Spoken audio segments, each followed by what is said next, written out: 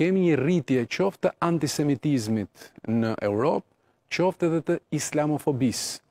të cilat janë burime ushqimi për partitë e ekstremit të djathtë apo partitë e ekstremit të majtë. Që po gjejnë gjithmonë dhe më shumë terren. Që po gjejnë gjithnjë më tepër terren dhe le mos harrojmë që ky është një vit zgjedhor në Shtetet e Bashkuara të Amerikës, në BE, në Mbretërinë e Bashkuar dhe në një pjesë të mirë të vendeve. Prandaj,